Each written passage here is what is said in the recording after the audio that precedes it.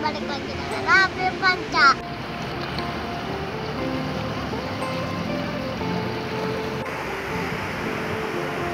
Kenapa itu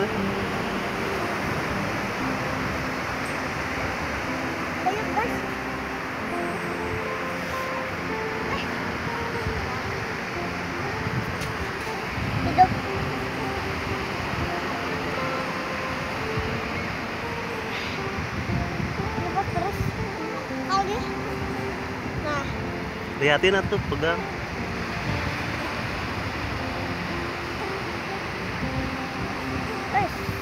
Mana lihat siapa? Tuh.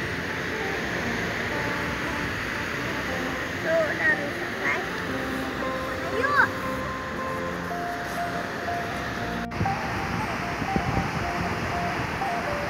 Apa itu teh?